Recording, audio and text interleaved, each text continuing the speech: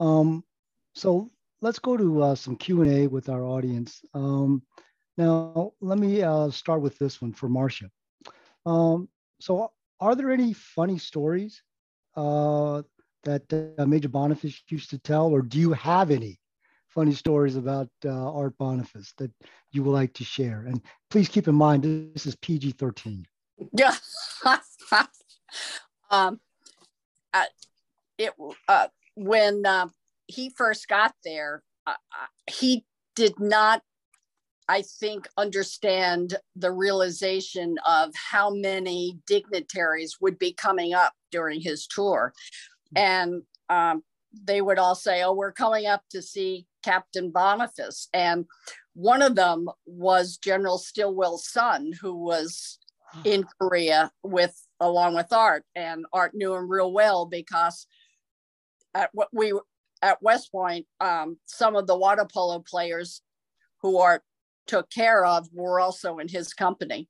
So um, Art would get a phone call from him every couple of weeks and say, gee, Art, I'd love to come up and have dinner at with you and hear what's going on. And Art would say in the beginning, Art would say, that's great. I'm, I'm glad you're coming up.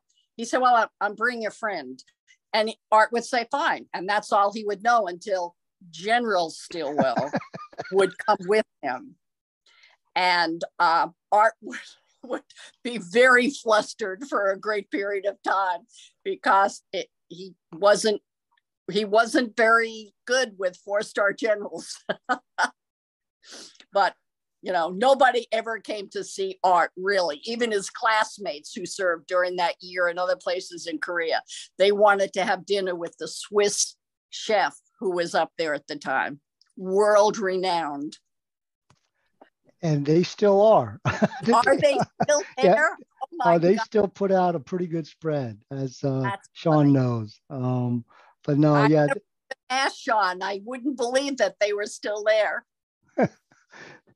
so you know the classic you know make sure you know exactly who's coming for dinner and because a right. friend can turn into somebody that uh, is far beyond just a friend. Right. Well, he was. Uh, I'm sure he was afraid that Art would have put his blues on in order to meet them when they came in. yeah, yeah.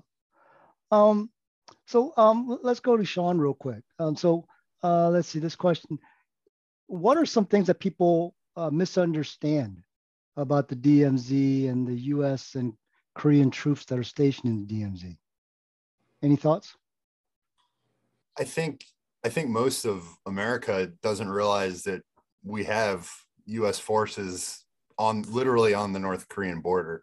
Um, I think everyone's you know vaguely familiar that we have a, a deterrence force and USFK over there. Um, but I often find when I tell people I was stationed inside the DMZ that they're, they're very surprised. Um, I think that people that are familiar with our role there, people inside the army, sometimes think that the JSA is just about the tours and about the distinguished visitors that come up to try to understand um, and don't realize that, you know, the troops are putting on the nods and, and rucking up and, and patrolling the DMZ.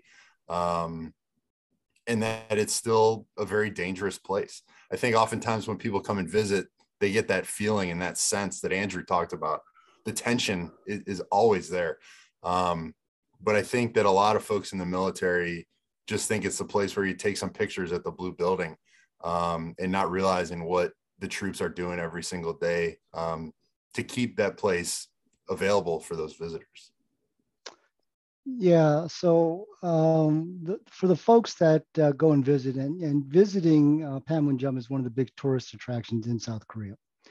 Um, they they probably only see about 10% of what y'all do, right? I mean, in terms of uh, being able to see, but there's like 90% of it that just goes so hard into all the training, the preparation.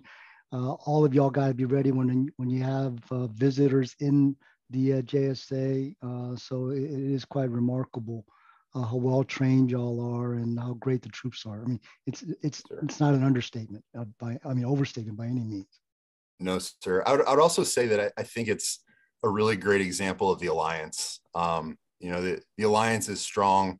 We know this, uh, but but that's where we're fully fully integrated. uh, U.S. and ROK in the same battalion, following orders from UNC.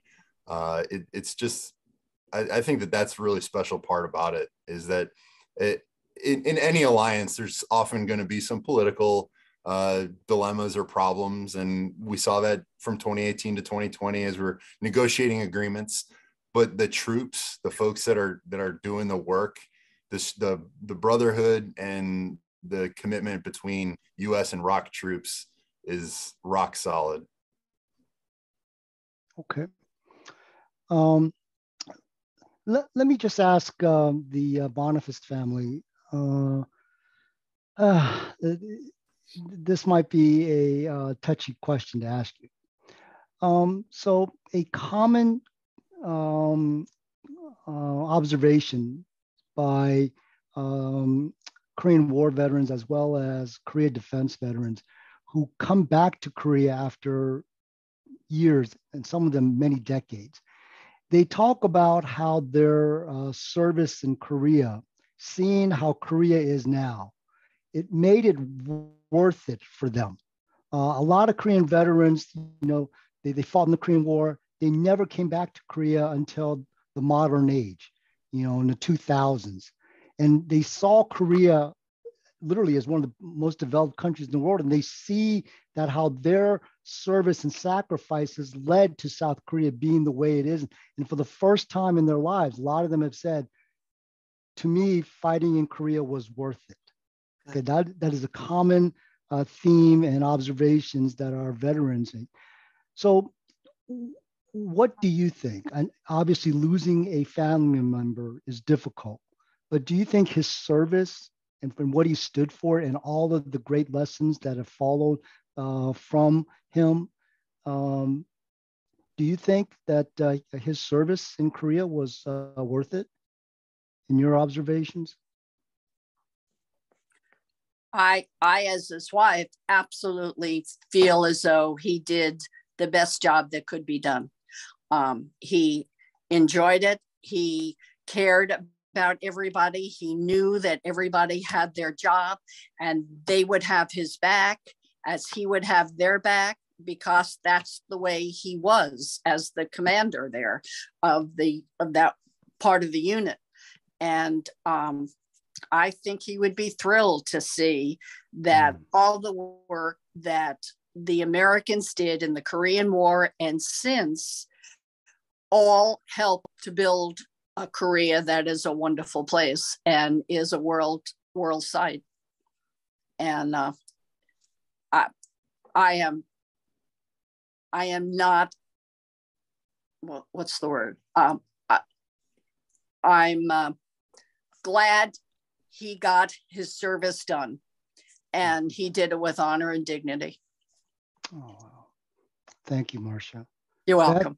I, I know you were young, but say, yeah, I would have to say um, his relationship with his South Korean counterpart, Mr. Kim, I think was something that was not common practice in the 70s. And I think the relationship that he and Mr. Kim had um, was a good example and role model for how the South Koreans and the American troops are working together now. So I think that would thrill him because I'm not sure that previous people in the roles he was in had a same connection, had a similar connection. Mm-hmm. But he and Mr. Kim had love and respect for each other and brought their troops together a lot. And I do think, from what I've heard from Mr. Kim, especially, that that was something new in the 70s. Mm-hmm. And so I think that relationship wow. between them and our continued relationship with Mr. Kim shows that that was important at the time and i think that's been carried on. Okay. I agree. Wonderful.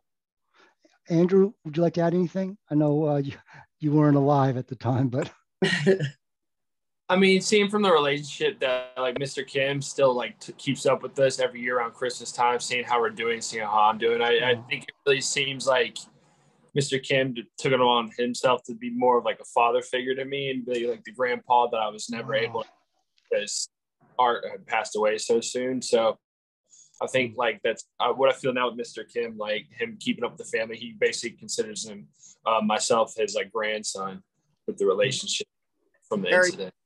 Very true. Wow, pretty amazing. Thank you for sharing that. I know Sure. that potentially that was a difficult question. Um, so let me go to um, um, one of our audience members also gave us a, a question. Uh, does the family feel that cutting the tree was a appropriate response? Uh, can can I can I talk to that?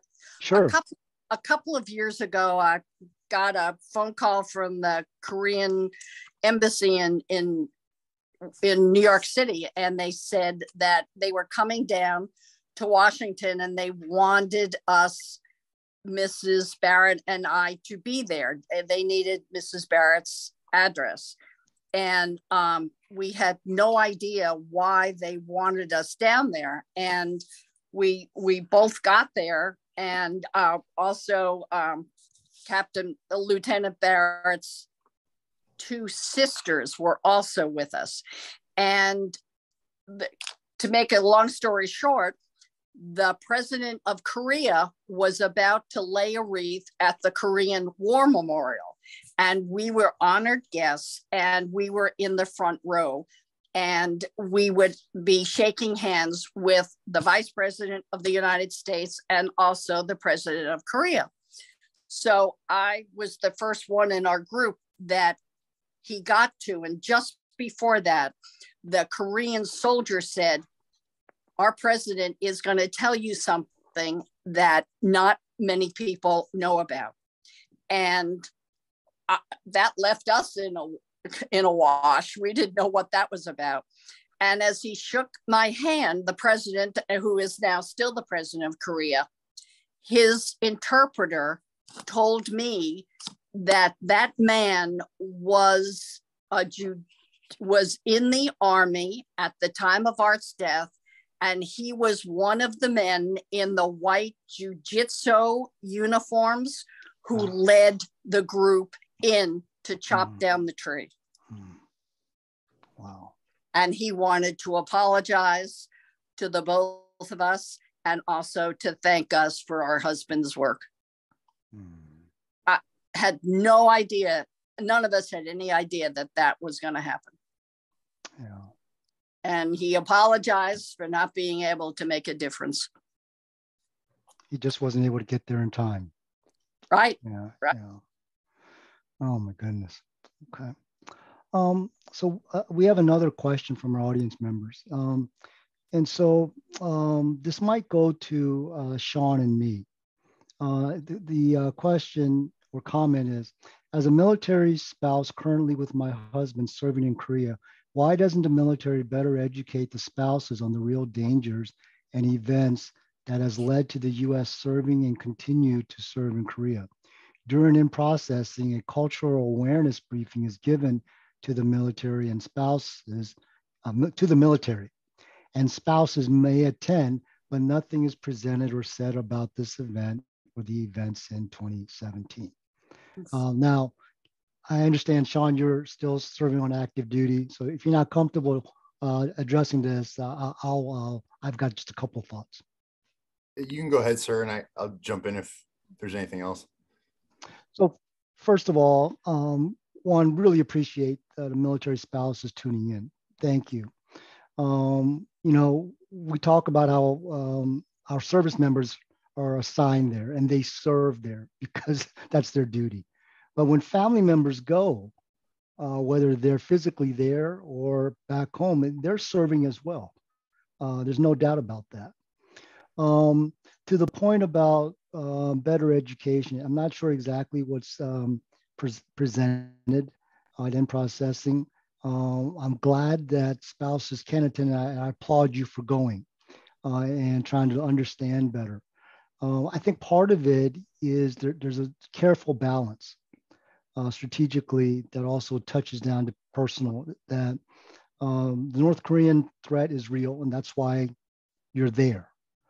And as Sean Morrow talked about, we've got to be ready at all times. Um, uh, and the realities are the examples of the axe murder incident and then the, uh, the North Korean defector is that by being prepared at all times with our training, our readiness, um, may not always turn out the way that we want. Um, but I think that we can be rest assured that overall, our the U.S. military, working with our Korean allies, uh, almost always uh, acts appropriately. Um, so, you know, um, this is something that uh, we may um, um, pro- provide as feedback back to the commands. But I think that there's just a fine line that they've got to uh, walk between uh, overselling the threat uh, uh, versus no, that there's a real threat and we need to be there and we need to be prepared. So anything that you want to add, Sean? Sir, that that's really good. I, I think first of all, I want to second just the gratitude to you and to your spouse for for serving in our military and and especially in Korea. I, I hope if you're there in Korea that you're enjoying it and seeing what what the country has to offer. Um, I think I want to tell you that that your spouse is in a safe place. Korea, there is a threat, but your spouse is getting some of the best training over there in Korea that I've ever had in the military because you can focus a little bit more over there than than I think sometimes you can back home. Um, he's well resourced, uh, and the the incidents that have happened in Panmunjom are very public and very emotional, but they're also extraordinarily rare. Um, and I think that this sort of goes to another question on here um, about, you know, why did the decision, why was there the decision to chop the tree or was that appropriate? N- nobody on that day thought that this would escalate to murder. Um, the troops, especially folks that are dialed in from our KDVA, uh, there's probably folks that got into some pretty serious fistfights in the 60s and 70s. It was a very common occurrence to get in real and severe fistfights, and that was the risk that that the team was taking in 1976. That maybe there was going to be a dust up, but it, it it, wasn't it wasn't ever going to go as far as it went. That's not nobody expected that.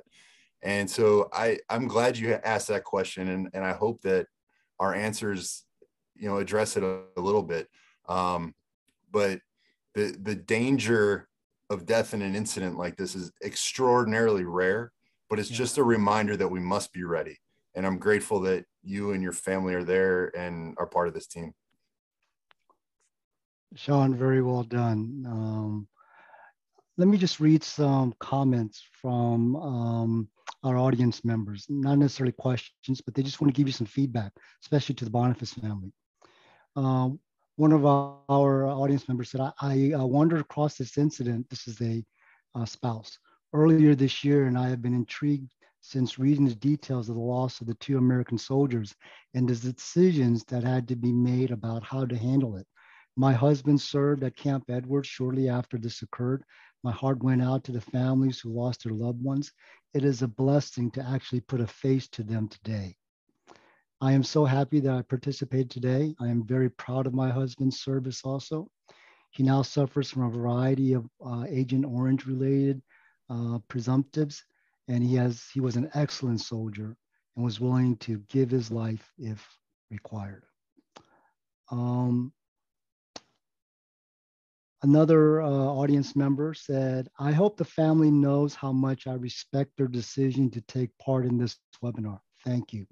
It means so much to me, and I'm so sure, uh, and I'm, I'm sure to my buddies that Captain Bonifas and Lieutenant Barrett are remembered and honored. And that's from um, David Benbow, uh, formerly Sergeant Benbow, who served in the DMZ in 69 and 68. Um, let me provide some other uh, comments real, real quick. Uh, one of our um, audience member said, I was a 18 year old sailor on CV 41 at that time. Till this day, I'm so proud of that. Um, another audience member said, Art and uh, Barrett did not die in vain, needs to be said.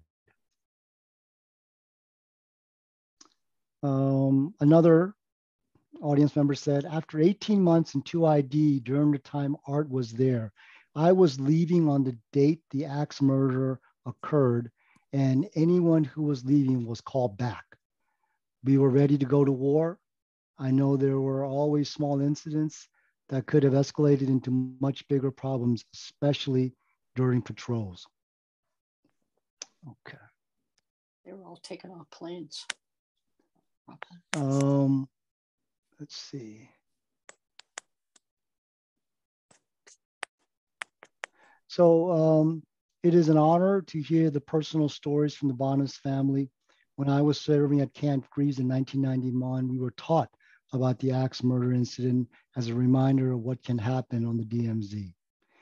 Captain Bonifas and um, Lieutenant uh, Barrett's service has never been forgotten, and that is certainly true.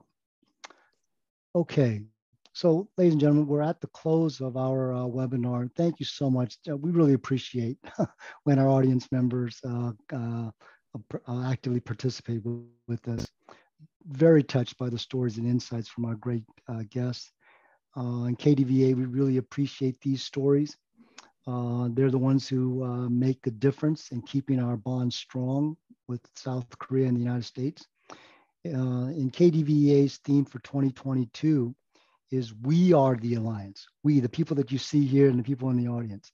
And the Bonifas family, Lieutenant Colonel Morrow, are the alliance because it would not be the strong without them. I would like to sincerely thank Marcia, Beth, and Andrew Bonifas and Lieutenant Colonel Sean Morrow. You can find stories like the ones you heard today in the KDVA Quarterly Journal. We are accepting articles until August 31st, and the journal will be published in late September. One of the KDVA interns will turn uh, what we heard today into uh, articles for the journal. KDVA recently conducted our first KDVA reunion in Washington, D.C. on July 26 to 28.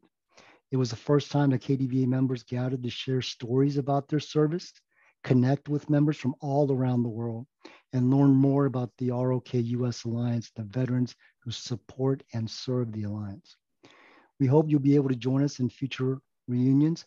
The Korean Ministry of Patriots and Veterans Affairs, or MPVA, sponsored the reunion. And they're also sponsoring the upcoming Korea Revisit program for uh, defense veterans. We have extended the application to Friday, August 19th. That's coming up here. So please go to kdva.vet, that's V-E-T, to apply. This is an incredible program in which the Korean government will pay for all expenses for the defense veteran plus half of a companion's airfare. And then once in Korea, the Korean government and the Korean people will welcome and thank our veterans and their families for their service and sacrifices. Finally, the KDVA internship program is accepting applications for our 2022-2023 intern class. If you would like to add your voice in supporting this alliance, please consider joining KDVA. It is free and literally only takes a few minutes at kdva.vet. So ladies and gentlemen, thank you very much. And we look forward to continuing to work together. Bye-bye, everybody. Bye. Thank you. Cool.